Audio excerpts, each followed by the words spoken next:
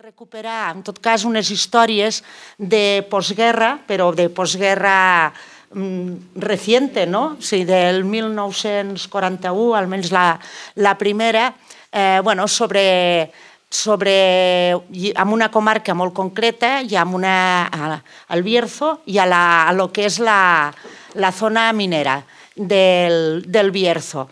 I també recuperar una mica, que no se n'ha parlat potser tant, de el tema de, bueno, de repressió que va significar que molta gent va ser desterrada o exiliada del seu lloc d'origen com a càstig per haver sigut fidel al govern de la República, perquè al final és això, per haver-se mantingut fidel i defensar el govern legítim van ser represaliats d'aquesta manera.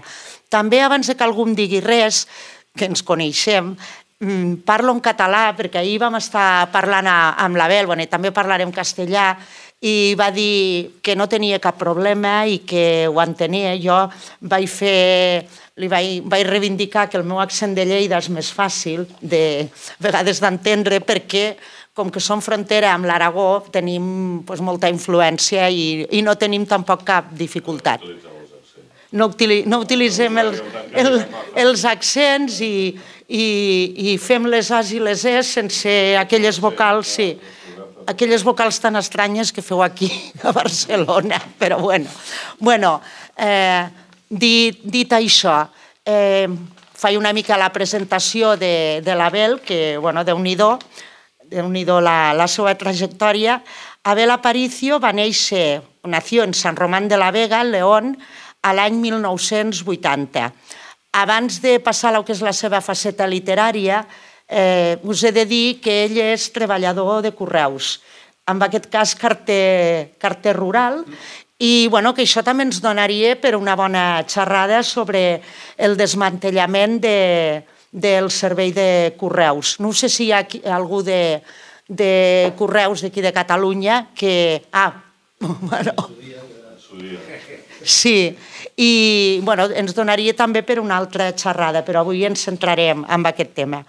Colaboró en el fanzine Creatura de Illescas, de Toledo, de 2010 a 2014, en Astorga Redacción, en el Diario de León, en La Nueva Crónica y actualmente lo hace en el medio digital y León con artículos de investigación, entrevistas i viajes en bicicleta.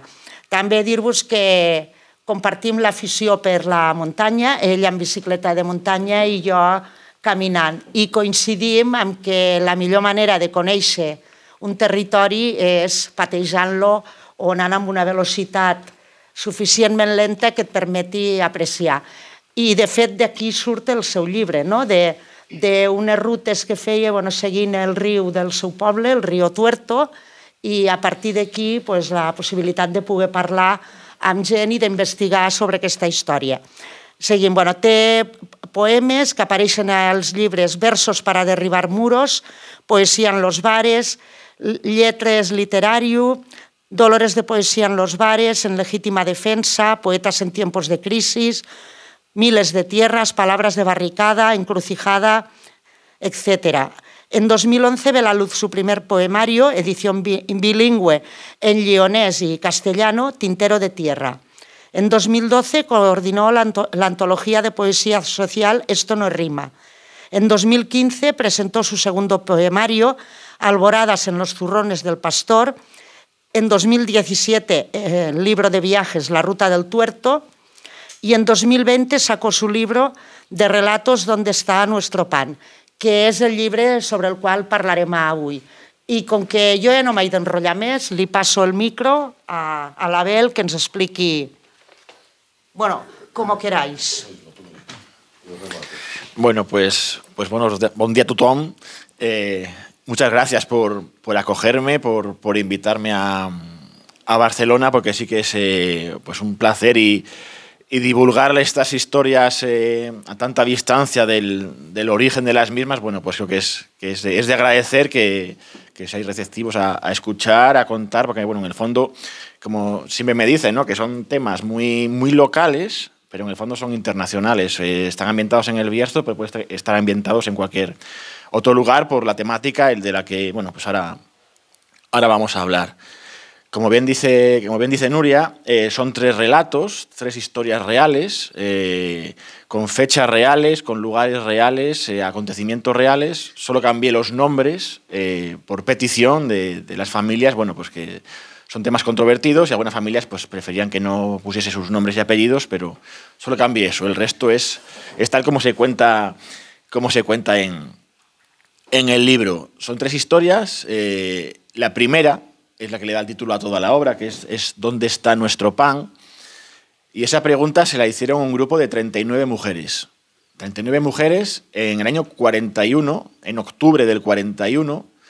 Eh, siempre que hago la presentación le pido al público que haga ese ejercicio de imaginación y os, pongáis en el año 41 en un pueblo minero eh, controlado por un alcalde muy cacique y muy falangista Imaginaros a 39 mujeres camino de un ayuntamiento solicitando algo, lo que sea, eh, da igual. El alcalde en ese momento, al ver esa manifestación y que encima fuese eh, protagonizada íntegramente por mujeres, bueno, pues no, no le sentó muy bien, no, no, lo aceptó muy bien, su cabeza implosionó, eh, intentó hacer por artes feas una represión fuerte, pero bueno, al final lo hizo por vía legal, y gracias a esa vía legal y a ese juicio que hubo y a esas actas que me pasó un buen amigo de Ponferrada, Alejandro Rodríguez, eh, hoy es parte culpable de que hoy estemos, de que hoy estemos aquí. Eh, esas mujeres eh, lo que pretendían era recibir el pan que por ley no le daban. A cada persona, a cada casa, a cada familia, por ley le correspondía, según la cantidad de racionamiento, una ración de pan.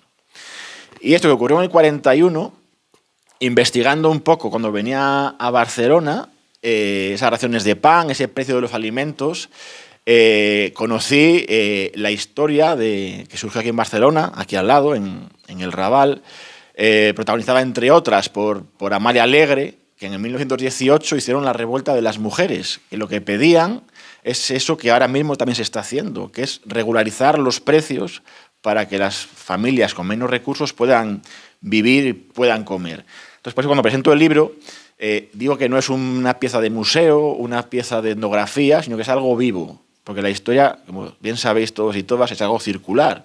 Entonces, lo que pedían estas mujeres en el 18 en Barcelona, lo que pedían estas mujeres en, Torre del Bierzo en el 41 es, es, lo mismo que se está pidiendo ahora. Entonces, daros cuenta que las reivindicaciones siguen y siguen y siguen. Entonces, es importante. Eh, en este grupo de mujeres, de 39 mujeres, eh, había familias de todos los puntos del Estado. Eh, entre ellas había dos catalanas, una de Lleida y una de Tarragona. Y diréis que hacían dos familias, dos mujeres de Lleida y Tarragona en, Torre del Bierzo. Bueno, pues Torre del Bierzo fue, fue considerado un pueblo de castigo. Y cuando presenté el libro en Torre del Bierzo, les dije, no sé qué habréis hecho para ser considerado un pueblo de castigo. Por lo que sea, no gustó que les dijera eso, pero bueno, al margen de, esa broma, eh, Torre del Bierzo era un pueblo de castigo porque era un pueblo que tenía ferrocarril, tenía minería, es un pueblo que está encajonado entre dos laderas, que a las 5 de la tarde en invierno es totalmente umbrío y casi de noche. Y estas familias fueron enviadas a Torre del Bierzo porque fueron las familias, como digo, de, de, diferentes puntos del Estado, de Cataluña, de Castilla, de Extremadura, de Galicia, de Euskadi, de Valencia, eh, por seguir fieles al gobierno republicano. Entonces, cuando los fascistas eh, consiguieron hacerse con todo el territorio, como una especie de castigo interior, de exilio interior, a las familias más destacadas eh, republicanas, las enviaron como castigo a Torre del Bierzo. ¿Con qué objetivo? Desnaturalizar, arrancar de sus raíces, arrancar de su entorno y enviar a gente a un sitio muy lejano, porque yo eh, en tren de Barcelona a Astorga hay siete horas y media. Ahora, eh, de aquellas eran dos días o tres días. Y eran sitios muy lejanos. No es lo mismo eh, estar en Barcelona, Tarragona, a meterte en unas montañas de mineras, con, las laderas, las montañas. se rompen todo tu esquema mental y ese era el objetivo de los fascistas, ¿no? romper todo ese esquema mental. Y aislar sobre todo era aislar, romper, como se puede ver en la causa judicial, no les funcionó muy bien, porque el alcalde llega a decir la causa judicial, eh, estas familias eh, con ideas marxistas, lejos de abrazar la noble causa nacional, persisten con sus viejos vicios. Claro, porque ¿quién iba a pensar, verdad? Digamos, tú mandas a un lugar a gente muy común, al principio están con miedo, pero luego se van hablando, empiezas a hablar, hablar, hablar, y te das cuenta que comparte las mismas opiniones que Nuria, y las mismas opiniones que él, y que ella, y que ella, y que ella, y que ella, y que ella. Entonces esa gente se unió. Y esa unión de la Nuria del momento, del Camil del momento, del René del momento, eh, consiguieron que se agruparan y ellas fuesen las que dieron ese paso de ir caminando al ayuntamiento a por esa, a por esa ración de pan. Y como digo, esto que pasó en el 41, eh, pensad lo que se jugaban esas mujeres. Porque si ahora haces una manifestación, bueno, te puede jugar muchas cosas, la cárcel, una paliza, una multa, pero de aquellas estabas jugando corte del pelo al cero, aceite de ricino, una violación, la cárcel y en, última instancia la cuneta. Porque cuando os dicen que la guerra civil y eh, los fusilamientos barra asesinatos eh, terminaron en el 39, eso es mentira. En el Bierzo, concretamente, eh, hubo fusilamientos hasta, por lo menos, el año 51. Esto fue diez años antes. O sea, imaginaros este grupo de mujeres lo que se estaban jugando. Y se lo jugaban muchas veces en contra de la opinión de sus padres y maridos. Porque siempre está ese toque paternalista que tenemos los hombres de tú no hagas esto, tú lo que tienes que hacer es, no es eh, eso tan patético, que muchas veces lo hacemos porque así fuimos educados. Y ellas dijeron, no, no, no, con el pan de mi familia, con el pan de mis hijos no se juega y decidieron dar ese paso. Entonces, bueno, ese es el, primer relato, eh, que es eso, como digo, es dónde está nuestro pan, que le da título a toda la obra. El segundo relato, que es eh, casi una película del oeste, por eso cuando presento el libro digo que si hay algún director o directora en la sala que estoy dispuesto a negociar los derechos de una serie en Amazon, en Netflix o una película, eh, es eh, fácilmente llevado al cine o a una serie porque es un asalto a un tren.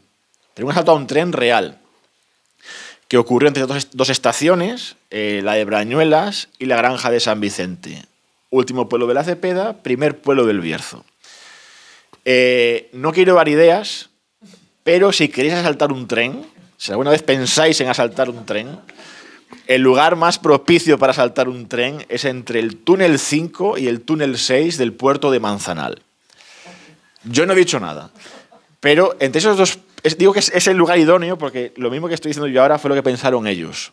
Eh, es un lugar que por un lado hay un túnel con una ladera, otro túnel con una ladera, una ladera por arriba y luego para bajar es una pendiente no muy prolongada llena de árboles que te oculta en la huida. Y hasta aquí puedo leer. Eh, este grupo de gente que asaltó este tren eh, lo hizo en octubre del 39. Y fijaros la fecha, porque es solo seis meses eh, oficialmente terminada la guerra civil. Es importante todo el esfuerzo que hizo el régimen en ocultar este asalto a un tren, porque como yo, este buen amigo Alejandro Rodríguez me pasó la causa judicial, yo fui con la bici de montaña repetidas veces, en primavera, en verano, en otoño, en invierno, para empaparme del entorno, de cómo era en cada estación, de cómo era en cada momento, para intentar transmitirlo a, través de la, literatura. Bueno, pues cuando estuve en estos pueblos entrevistando a la gente, yo creo que el 85% de la gente de estos dos pueblos no conocía ese asalto a un tren, que es el tercero más importante en todo el Estado en cuanto a cuantía económica que se intentó sustraer. No voy a decir si se sustrajo o no se sustrajo, porque entonces os desvelaré al final, no compréis el libro a esa buena mujer que está ahí vendiendo los libros, pero sí que es el tercer intento a un tren en cuanto a cuantía económica. Se intentaron sustraer 127.000 pesetas de la época. Es de aquellas era una fortuna, era, era muchísimo dinero. ¿Quién hizo este intento de asalto a un tren? Bueno, pues era gente normal, era gente, vecinos del Bierzo más oeste, no sé si conocéis las médulas, eh, ya pega con Galicia, es patrimonio de la humanidad, bueno, pues gente de esos pueblos, de Corullón, de Borrenes, eh, el lago de Carucedo, incluso la zona ya de Galicia es Arrúa o Barco de Valdeorras, era gente normal que estaba en busca y captura. Diréis, ¿por qué esa gente estaba en busca y captura? Bueno, pues uno de ellos, como se puede ver en la causa judicial, estaba en busca y captura porque su delito para estar en que captura, y sabéis qué quiere decir eso en el 36, era tiro en la nuca, su delito era estar afiliado a la UGT. O sea, ese era su delito, para buscarlo y fusilarlo. Entonces, tanto él como muchos otros tuvieron que ir al monte. Ir al monte, esconderse, eh, vivir de lo que podían cazar, de lo que podían facilitarle los vecinos y vecinas, pero lógicamente eso no, no bastaba. ¿no? Entonces, eh, no intento justificar lo que hicieron, porque no, lo intento justificar, eh, intento poner siempre la, la, visión de los dos puntos, tanto de la gente que vigilaba ese tren, había dos guardias civiles, había el tesorero, el secretario, entonces intento mostrar eh, qué llevó a unos a defender ese tren y a otro a atacarlos. De hecho, el segundo relato empieza con esa pregunta. Es una persona, está empuñando un arma, mientras se pregunta cómo yo, un labrador, acaba con un arma intentando saltar un tren. Así empieza el segundo relato.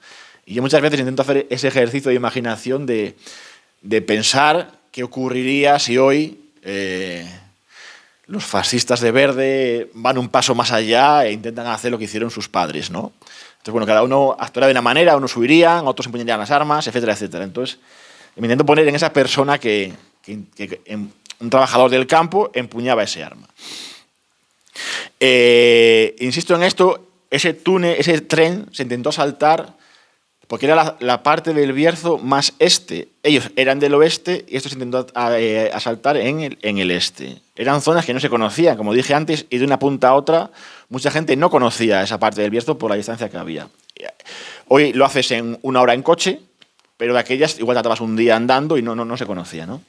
Entonces, eh, sin, la, colaboración, que siempre insisto en esto, sin la colaboración de gente de dentro, de la gente que trabajaba en el ferrocarril, nunca hubieran sabido que un jueves sí y un jueves no, a una determinada hora, pasaba un tren cargado con dinero que estaba destinado a pagar las nóminas de los mineros y alimentar eh, los bancos gallegos. Porque sin esa información de la gente de dentro, insisto, que el régimen siempre te dice que consiguieron extirpar todo el gen, todo el gen rojo, es mentira. Sin la gente de dentro, ese asalto al tren no se hubiera podido producir. Y aquí os voy a hacer un poco la pelota. Eh, hay un texto en el libro eh, que dice, fue en Madrid donde mayor conciencia política adquirió y participó en la Revolución de Octubre de 1934 junto con varios compañeros afiliados a la UGT. La revuelta fue seguida en menor medida que en Asturias o en Galicia, pero durante los siete días que duró la insurrección en la capital, Felipe tuvo claro quiénes estaban en su bando y al lado de quién tenía que luchar. Bueno, ya os hice un poco la pelota. Os sigo contando eh, que después de intentar asaltar, ese tren, sí que hubo varias, subidas eh, por diferentes sitios. No sabemos eh, qué ocurrió al final, porque lamentablemente 80 eh, años después de todo aquello, eh, hay archivos que siguen, cerrados, siguen opacos, no se puede acceder a ellos, entonces mucha gente no conoce la historia de su propia familia. Y creo que, bueno, con este libro, entre otras cosas, quería también denunciar eso, que ya es hora de que todos los archivos, de toda la documentación se desclasifique para que se pueda, se pueda acceder a ella. Y luego el tercer relato, eh, que dicen que no hay que tener hijos o hijas favoritos. Eh, yo en este caso lo incumplo porque el tercer relato es, es, es mi favorito. Quizá porque conozco personalmente a la, a la familia protagonista de, del tercer relato. Esta mujer que veis aquí, sonriente, con una sonrisa eterna, se llama Aurora, es de Almagarinos. Hoy han venido un vecino y una vecina de Almagarinos, lo cual me, me honra y, es agradecer eternamente que gente de, esta cuenca minera, como tantas otras, ¿no? que tuvieron que, emigrar por, por, comida. Bueno, pues esta mujer que se llama Aurora, que tiene una sonrisa eterna después de la vida que pasó, pues la conocí personalmente y me contó su historia. Y fue a raíz, como dice, dice Nuria, a raíz de la bici de montaña. Yo iba con la bici de montaña por esa zona... Eh, tan maravillosa que es el límite entre el Bierzo y la Cepeda, llena de, bueno, pues de regueros, de, montañas onduladas como si fuesen olas de mar. Y, vi, varias cosas que me llamaron la atención para escribir esa novela. Yo iba con la bici despacio, porque como dijo Nuria, hay cosas que si vas despacio las ves bien y si vas muy deprisa no te enteras. Vi un territorio eh, casi místico por, lo que, por, lo que, encierra, eh, por lo aislado, por lo que vas viendo, lo que vas sintiendo. Una es esa, otra fue el patrimonio minero, eh, el patrimonio industrial minero abandonado, como en tantos lugares. Aquí en Barcelona también tenéis, tuvisteis minería del carbón, esa fue la segunda. Y la tercera fue una pregunta que me asaltó, una, como una bombilla, una especie de alarma, que me, me asaltó cuando iba con la bici, que dije, vale, me han contado la vida de los mineros, de ellos, de cómo vivían, cómo trabajaban, cómo luchaban, pero yo me saltó esa pregunta, esa alarma de qué pasa con la otra mitad de la población que vive en cuenca minera, que son las mujeres de Cuenca Minera, sean o no sean mineras, pero sobre todo me interesaban ellas, las mineras. Mira, yo soy de un pueblo a 30 kilómetros de 30 minutos, 30 kilómetros en coche de esta cuenca minera. Yo no sabía que hubo mujeres mineras. Y dije, bueno, pues seré yo que soy un ignorante, que también puede ser.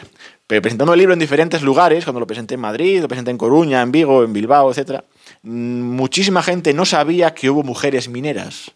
Y eso ya dejas de pensar que es cosa tuya y empiezas a pensar que es algo más global.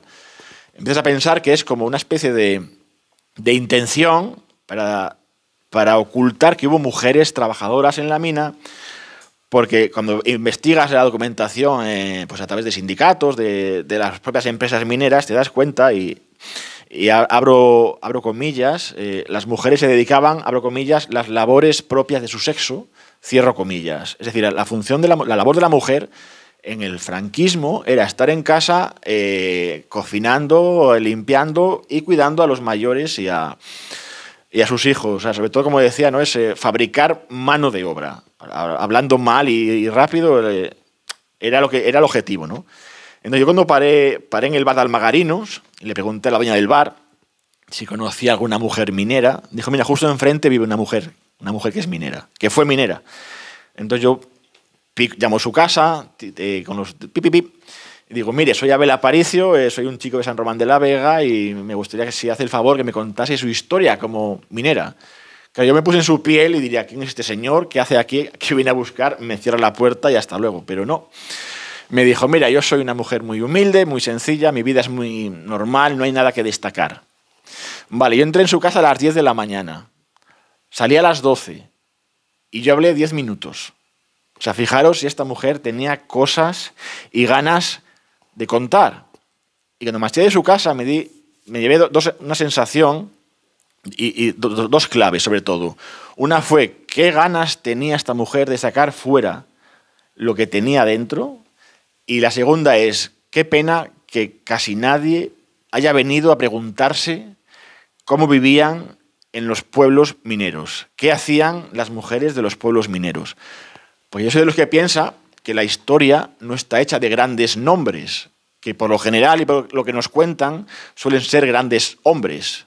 La historia está hecha de pequeños anónimos, pequeñas anónimas, como dice Eduardo Galeano, los nadie, los hijos de nadie. ¿no? Yo creo que la historia la han hecho los hijos de nadie, las hijas de nadie. Y en este caso era Aurora y muchas auroras, pues este, como dije, ¿no? que es, es muy concreto este, esta localización, pero se puede extender a cualquier punto del Estado, a cualquier punto de Europa, a cualquier punto del mundo. Entonces Aurora, eh, lo primero que me dijo eh, fue, mira, eh, nosotras cobrábamos por la misma labor, y me, me, recalcó esto, por la misma labor cobrábamos seis pesetas y media de jornal. Ellos trece. Daros cuenta que es justo el doble por la misma labor.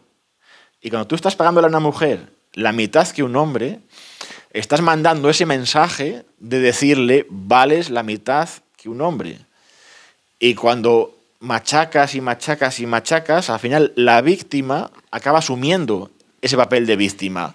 De hecho, Aurora me llegó a decir, nosotras llegamos a asimilar que haciendo lo mismo que ellos, valíamos la mitad que ellos. Entonces, sí que cuento siempre esto porque como dije al principio, esto no, no pretendo que sea una pieza etnográfica, sino que se pueda trasladar a la, realidad. Y cuando ves eh, la punta del iceberg, que son los asesinatos machistas, la violencia machista, pero si escarbas un poco todo lo que hay detrás, una de las raíces era esta. Eh, siempre se le dijo que valían la mitad que los hombres. La segunda que me dijo Aurora es que cuando una mujer se casaba y trabajaba en la mina, cuando las mujeres se casaban las echaban de la mina, directamente. Porque como dije, su labor era las labores propias de su sexo. Dijo, nos daban mil pesetas, nos daban un dinero para año trabajado y para casa. No a ellos, claro. Ellos seguían trabajando en la mina. Y la tercera cosa que me dijo eh, fue que si un minero tenía una pareja y su pareja trabajaba fuera de la mina, porque la mina no podía, si su pareja trabajaba, el minero recibía menor salario, fomentando una vez más que las mujeres quedasen en casa. Entonces, todo esto me contó Aurora, que yo no tenía ni idea. Eh, fui preguntando en diferentes lugares y era en todos los lugares lo mismo. Todos los empresarios mineros hacían lo mismo para conseguir eso, que la mujer estuviera en casa.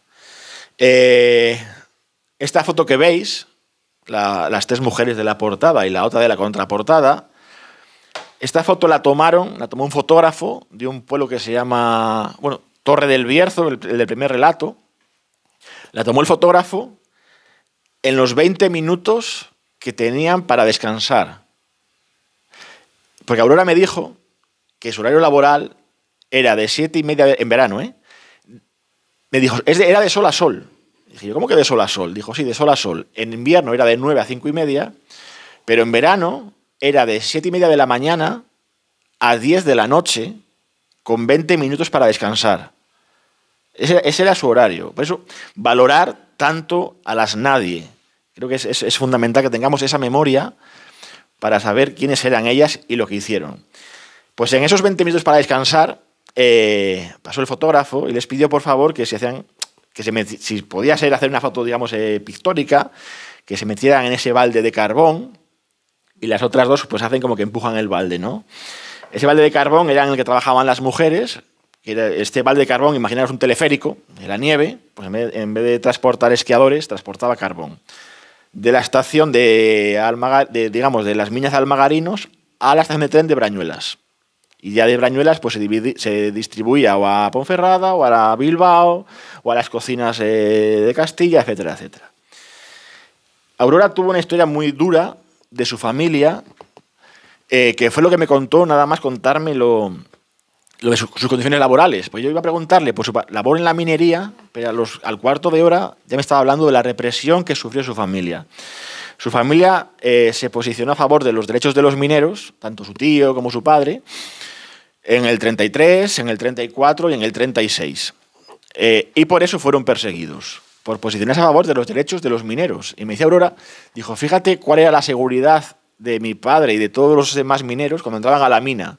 Su única seguridad, medida de seguridad, era una boina. No había cascos, no había gafas, no había extracción, no había oxígeno, no había medidores de grisú, no había nada. Era una boina. Y por luchar por los derechos de los mineros eh, fueron perseguidos. Fueron perseguidos hasta tal punto que tuvieron que huir a unas pequeñas cuevas que hay en la zona de, del Valle del Tremor, que están situadas en, en un pueblo que se llama eh, Torre eh, Tremor de Arriba, perdón. Yo en el relato, para implicar a más pueblos, están entre Tremor de Arriba y Espina de Tremor. Yo para incluir a más pueblos puse que estaban en Espina de Tremor. Cuando fui a presentar el libro a Tremor de Arriba, ¿Cómo pusiste que las minas estaban en espinas y son nuestras? Y dije, vale, vale, vale. Las cuevas, perdón, las cuevas. Pero realmente estaban en tremor de, arriba. Bueno, pues en esas cuevas estuvieron escondidas eh, tanto el padre de Aurora, como su tío, como su madre. Y, las cosas que tiene la literatura a veces tienen cosas mágicas. Eh, me contó Aurora, dijo, claro, estaban en el monte, en unas cuevas huidos, y no solo podían alimentarse de lo que encontraban, tenía que haber colaboración del pueblo más cercano. Y cuando presenté el libro en Espina, conté la historia que me había contado Aurora. Dijo, mira, Abel, dijo, tenían un código con la gente del pueblo. Cuando colgaban un número de ropa par a secar en la cuerda, es que no había falangistas en el pueblo. Entonces podían bajar al pueblo a lavarse, a comer o a dormir en los pajares. Y cuando el número de ropa colgada era impar, sería falangistas y no podían bajar. Esto es un código que se repite en diferentes lugares. Y yo llegué a pensar que era eh, pues imaginación de Aurora o que le habían contado o que quiso incluso eh, magnificar su relato familiar, que a veces la memoria juega malas pasadas, intentamos eh, defendernos o inventarnos ciertas cosas.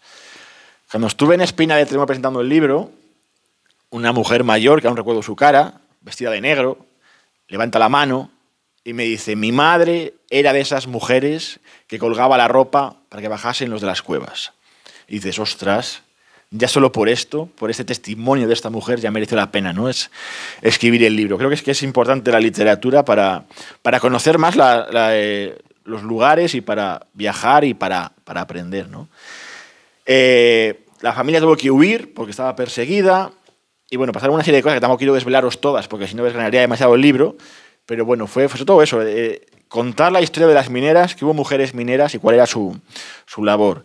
El tercer relato Mm, lo desarrollo como un diálogo entre abuela y nieta, para eso mismo, para ese hilo de la historia, para saber qué le contaron a, la nieta, a Isea, qué le contaba Aurora en su, vida, su trayectoria, y, es la nieta la que empieza a comprender por qué ella actúa de una manera. Ella empieza a entender dice, ya estuvo como actúo porque mi madre fue educada por mi abuela, ¿no? Esa transmisión oral, esa transmisión de gestos, esa transmisión de ideales, que a veces no se cumple, hay excepciones que no se cumplen y pasa lo contrario, pero por lo general, si tú has vivido en un ambiente eh, eh, social y sobre todo de clase, un ambiente de clase, creo que es importante que se transmite, se transmite, se transmite, se transmite, y ahí se entendía porque ella actuaba como actuaba. ¿no? El libro lo cierro con una, un pequeño romance, eh, romance entre comillas, porque es un encuentro amoroso, para darle un poquitín más de, intriga al asunto. Hay aquí una persona en esta sala que empieza por D y acaba por Aniel, que, me dijo, eres un romántico. Y le dije, pues sí, sí, realmente soy un, soy un romántico. Resistiremos en esa trinchera. De, ya quedamos muy pocos románticos, ¿eh? pero bueno, yo sí me considero un romántico. Quise poner esa historia para que en el fondo es una historia, digamos, romántica, pero eh, también esconde su aquel, ¿no? Y en esa historia hablo de otro tema que está muy caliente en la actualidad, que es el tema de la, del medio rural, de la despoblación, tantas veces se, se habla de ella y, y, no siempre acertadamente, porque vivir en un pueblo, como pongo en el libro, no es que digas, me canso de Barcelona, voy a vivir en un pueblo de 300 habitantes, o me canso de Madrid, voy a vivir a un pueblo de 50 habitantes, y dices, para, para, que igual no aguantas ni dos días que igual no tienes médico, igual no tienes colegio, igual no tienes eh, supermercado. Entonces, es ese debate que está ahora mismo en auge y, aquí en el libro intento mostrar, eh, a través de esos personajes, mostrar mi, mi opinión. ¿no? Entonces, bueno, eso es lo que os quería contar. Eh, ahora le paso la palabra a Camil y luego, pues, si tenéis alguna duda, queréis preguntar a cualquiera, pues bueno, pues encantado de, de responderos. Una cosa más, y ya con esto sí que acabo de verdad. Cuando hablé con Aurora, me dio un pequeño tirón de orejas. Y. Porque ella es, es una persona inteligente, siempre se está riendo, pero a veces que entre risa y risa te mete. Dijo: Ve a vuestra generación un poco despistados. Y le dije: Aurora, desarrolleme esto, por favor. Dijo: Yo sabía quiénes eran los míos. Yo sabía al lado de quién tenía que estar. Y eran los pobres. Era la gente que, como yo, tenía poco dinero, los trabajadores de la mina. Y dijo, y veo a mucha gente de tu edad cobrando el salario mínimo y votando más bestia que sus jefes. Y esto es verdad. Yo tengo amigos que trabajan en cárnicas, en fábricas de dulces, cobrando el salario mínimo, votando a Vox, cuando sus jefes votan al PP. Es decir, el obrero acaba votando más bestia que su jefe, ¿no? Entonces me decía Aurora, os veo muy despistados. Y dije, pues va a tener razón Aurora. Va a tener razón.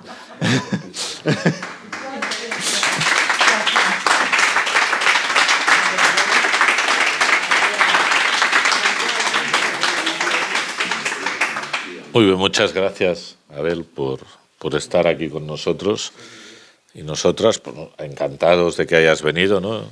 Esto empezó cuando nos llaman, ¿no? De, la UGT de Castilla y evidentemente colaborar. Precisamente aquí donde estás, seguramente, si todo va bien, eh, queremos aprovechar, ahora le estoy presionando a Cecilio, eh, el 12 de agosto de este año hará 135 años de la fundación de la UGT, que se fundó eh, en Barcelona, aparte, ¿no? Y, queremos hacer aquí, si conseguimos pues, los recursos públicos necesarios, la exposición permanente ¿no? del OGT para dar memoria, ¿no? Y, seguramente la sala se dirá 1888, ¿no? 1888, ¿no? Ah, simbolizando un poco esto, nosotros tenemos muy interiorizado que, ah, que nuestra historia se tiene que explicar porque se ha explicado entre poco o nada, ¿no? los, los sin nombres. Yo creo que nuestro Escara estaba pensando como que aquí el wifi no funciona, uh, porque debe ser la sala del 1888 y no había wifi, debe ser por eso. Uh, creo que el segon llibre del Ballester, de, de los tres, de los tres que tenemos de historia de la UGT de Cataluña, ¿no? Creo que algo de los sin nombre o una cosa así, o no. Els, los, hombres, los, no, el, tanto ja, ja situat, no? I esta en el fons és nuestra, nuestra història, no? Jo, jo crec que és important que llegiu el llibre, a part es llegeix bé, eh? Es llegeix bé i, i àgil, eh? Jo l'he pogut, pogut llegir, no l'acabo del tot, me falta una part del, de la tercera, uh, pero las otras dos sí que las, sí que las he podido leer y se lee y engancha, ¿no? Por lo tanto también está uh, muy bien escrito, porque yo también creo que el, cuando muchas veces hacemos cosas de historia también se hacen un poco tostones, ¿no? Y entonces la historia tiene que llegar a, todo el mundo, ¿no? Y los libros de historia, pues bueno, para la gente que le gusta la historia, a mí me gusta, ¿eh?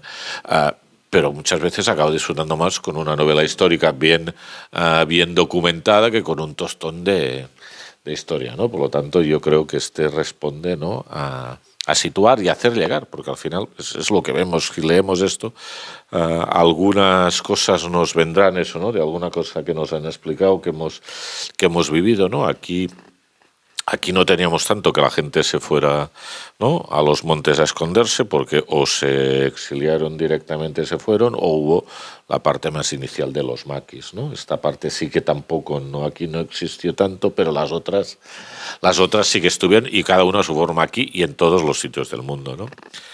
Con la... Ahora, yo, ahora voy a relacionar cada historia con una cosa que, uh, que me ha pasado, que me han explicado o que he leído. ¿no? Con la primera me recordó sobre todo, bueno, aparte de lo de la lucha de las mujeres, ¿no? Y visualizar a las mujeres, pues son las protagonistas de, de toda la historia, ¿no? Y los hombres son los cagaos, ¿no? Eh, los maridos que, ¿no? Eh, que les dicen, eh, yo que no et posis en problemes, eh, allò que no, eh, eh, que nos deien d'allò, eh, sí, sí, sí, a mí me lo decían de pequeño, eh, y yo soy del 72, no te meten en política, no te meten problemas. Yo soy de un pueblo que, que yo lo recuerdo de 300, 400 habitantes, que cuando me fui el 98 ya empezaba a ser grande uh, y aún no llegaba a 1000. Y ahora ya es grandioso y tiene 2000. Uh, ah, por lo tanto, yo he vivido la parte esta de, pueblo, ¿no? Pero no, me recordaba una conversación con Nicolás Redondo. Uh, que fue la primera vez que me lo explicaron así en directo y que me implicó más y que se ha escrito muy poco, que es de los destierros. Es decir, cuando escuchamos mucho la historia de la, de la Segunda República, ¿no? de la guerra civil, de la depresión, que yo ahora la neura que tengo en la cabeza es que le tenemos que cambiar el término de guerra civil. No fue una guerra civil. Ah, dices, pues no, no, fueron los fascistas que se levantaron, no que la gente se empezó a dar de hostias entre ellos, es los fascistas y era un golpe de Estado, toda regla. Pero bueno, ahora vuelvo. Me acuerdo con Nicolás, yo por desgracia, pues bueno, por, por, edad y por todo, pues he compartido poco tiempo con él, pero pude compartir sobre todo dos conversaciones y una muy larga. Con él a solas, comiendo y con sobremesas. Y claro, me explicó casi toda su vida, ¿no? Y está muy bien que te explique, cuando te explica pues los pactos de la Moncloa, ¿no? el Congreso ¿eh? De Sirenes, ¿no? que tenía que ser él, no sé qué, el, el 14D, ¿no? Ah, ¿no? Y cuando la, la, mujer de Felipe González le decía, no, no puedes hacer esto a mi marido, ¿sabes? cosas de eso van a hacer. Pero lo que me impactó más es cuando lo desterraron a un pueblo de Extremadura, uh, Nicolás Redondo, que estaba exiliado, uh, ay, que era que vivía en Bilbao, ¿no? lo destierran a un pueblo uh, de Extremadura, ¿no? Y allí tener que estar, ¿no? Viviendo y todo eso, ¿no? Y aquí, por lo tanto, hay una parte, ¿no? De, uh, que es esto, ¿no? Por lo tanto, y así mucha más gente. Y los destierros, yo creo que es de las cosas que están más escondidas o que se ha escrito menos o que se ha hablado menos, ¿no? Allí es evidentemente una forma de... En la segunda me recordaba cuando leí... Uh, porque andó las campanas de Hemingway, que pasa, ¿no? Un poco de Castilla más abajo, ¿no? Pero es que cuando la gente se escondía, ¿no? En las montañas, bueno, ya está volando un puente, que también, aparte del atraco, volar un puente, ¿no? Cuando, hostia, lo del puente, mira, ¿no? Y cómo hasta la gente en los montes, ¿no? Tenían problemas y tensiones entre ellos y se, ¿no? Y se discutían, ¿no? y por lo tanto hace también, ¿no? Eh, me recordó que también está muy bien porque es a lo mejor todas estas cosas, como que tampoco a lo mejor aquí no le hemos visto tanto, ¿no? Que te decía, aquí están más las historias de los maquis y todas estas cosas que tienen más épicas, si quieres, ¿no? Eh, porque entraban, salen, o bueno, o, las han novelado o explicado mejor también, ¿no? Ah, pero tanto recordaba esto, ¿no? Y el tercero, lo de las mujeres mineras, tengo la duda, porque esto lo empecé a leer ayer por la noche, no me ha dado tiempo, lo de mujeres mineras, no sé si es... Ah, en el de Emily Zola, el de Germinal, que está muy bien. Germinal es un, también está en Pelia, y así se podeu estalviar el tostón. Uh, allí, aparte, es como se empieza a organizar los inicios del sindicalismo. ¿eh? Y creo que había una mujer minera, y si no está allí, está en el Decken Follet de la caída de los gigantes. Es una nueva, que es, bueno, es, la trilogía, pero la primera va sobre las, hay las minas y el voto de las mujeres en Estados Unidos. Y allí también hay una, y en uno de los dos sale lo de las mujeres. Allí pues es esta. En, el otro, pues en el otro no están, pero también hay historia, historia minera, ¿no? Por lo tanto, bueno, yo no me enrollo porque entramos, si acaso, en las preguntas y lo que quieran comentar la gente, ¿no? Es decir, us recomano que us el llegiu, eh, perquè, bueno, perquè arriba i al final és la nostra història i agradecer-te ¿no?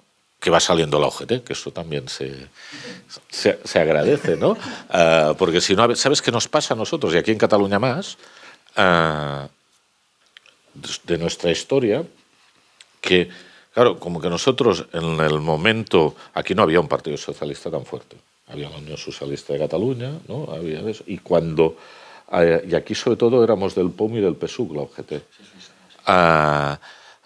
Entonces, y sobre todo el PSUC, en la guerra civil uh, del PSUC, el PSUC se crea en el, en el 36, ¿no? ¿Qué nos pasa? Que después nadie nos reivindica, porque bueno, con lo del PSUC se han pasado a comisiones, ¿no? Uh, y la parte, si quieres, socialista, como que éramos del PSUC, ¿no? La parte esta, porque hubo un documental en TV3 muy potente que hablaba de las mujeres brigadistas, y había unas brigadistas que se fueron, ay, perdona, brigadistas no, milicianas, uh, que se fueron a, a, Mallorca. Eran todas del PSUC, no, hay un, un momento del propio documental que hablan que eran del OGT. Claro, la fuerza obrera del PSUC, ¿no? Era la, era la OGT, ¿no? Y por tanto, en este de eso hemos quedado allí en, en terreno de nadie, ¿no? Y por lo tanto, bueno, nosotros pues intentamos uh, recuperar y, bueno, el tema nosotros de memoria e historia pues lo tenemos muy, muy presente, ¿no? Porque es importante ¿eh? recordar y recordar, aparte el papel determinante, ¿no? Y importante que tuvo la, que tuvo la OGT, no solo en la defensa uh, de la Segunda República, sino en la construcción de derechos, ¿no? Uh, cuando ahora estos días teníamos una presentación de un libro de Largo Caballero, ¿no? Y vuelves a releer ¿no? explicaban eso, que, que cara campo amor, cuando Largo Caballero entra de ministro de Trabajo, le dice algo así, como, no es bien, bien la expresión, pero es similar, ¿no?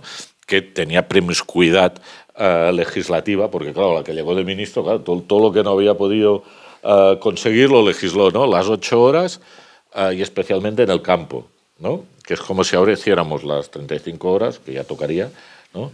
Uh, y, hiciéramos, y, dijéramos, y, especialmente en el, en el, comercio y en la hostelería, ¿no? Claro que sí es lo mismo, claro, el, el, impacto, ¿no? Y traspuso, ¿no? Y por lo tanto, la UGT ha sido, ¿no? Forma parte de esta historia y creo que en algunos momentos, pues, ¿no?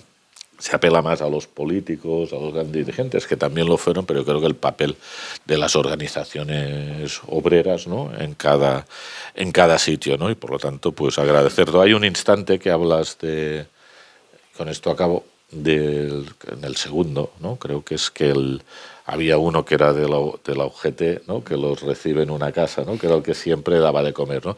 Me recuerdo cuando hacíamos los actos del 135 años, me gusta explicar que nuestro logotipo son las manos, ¿no? y, que cuando, y que esto lo que significa es que cuando a alguien le falta algo, la mano del UGT siempre está. ¿no? Y por lo tanto, ¿no? esto cuando pues ¿no? jugándose su vida y todo, pues recibe a, a milicianos ¿no? en sus casas para poder estar Por lo tanto, felicitarte porque aparte yo creo que es un libro que llega, que, llega, ¿no? que es lo importante y de personas uh, individuales ¿no? como, como nosotros, ¿no? no viniendo pues eso de saber quién somos, quién no somos, ¿no? pues sabemos, esto me lo explicaron a mí principio de tener responsabilidades en el sindicato, no sé en qué lío, en qué lío estamos, y uno de los más mayores dice, ¿no? y en esto de negociar, ¿sabes? No negociar, estamos en este estadio, no, no el otro estadio. ¿eh? Uh, pero mira, me dice, oye, cuando tengas dudas, tú con los tuyos. ¿no? Pues, ¿no? Y es un poco esto. Muchas gracias y